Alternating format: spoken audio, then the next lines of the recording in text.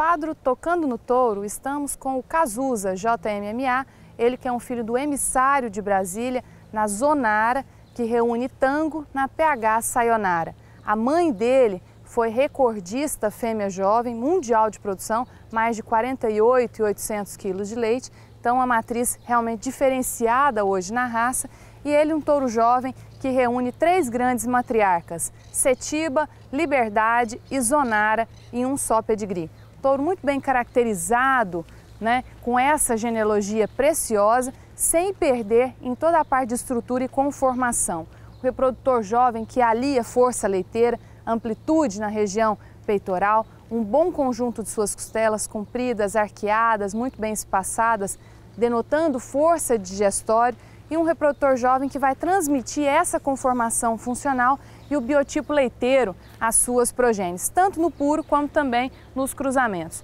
E o diferencial desse reprodutor jovem é o seu conjunto do quadrante de garupa, que será o teto de sustentação do sistema mário nas suas filhas. Amplitude, largura entre os seus ilhos, amplitude, largura entre os isquios e um excelente comprimento. Com uma inclinação também de garupa, de ângulo de garupa, que proporciona nas suas progênies esse teto sustentação do sistema mário de muito bom equilíbrio. E todas as características avaliadas quanto a biotipo, também de ordem funcional, um reprodutor com aprumos muito corretos, uma ossatura forte e plana, biotipo leiteiro muito evidenciado também no seu posterior, períneo curto, um excelente espaço entre pernas para abrigar os quartos posteriores do sistema mário nas suas filhas e uma musculatura plana, como deve ser nos reprodutores com biotipo leiteiro um reprodutor de ossatura de muito bom equilíbrio, um fenótipo leiteiro muito bem evidenciado e de temperamento também excepcional. Vai contribuir imensamente